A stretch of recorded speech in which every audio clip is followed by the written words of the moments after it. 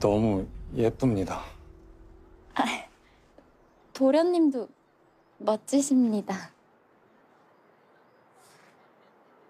아버님께 인사드리러 가죠. 길게는 못 뵙니다. 어른들이 아시면 말이 많으실 겁니다. 네. 감사합니다. 서, 서방님.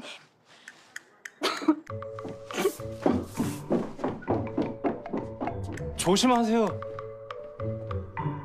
부인. 당구 부인.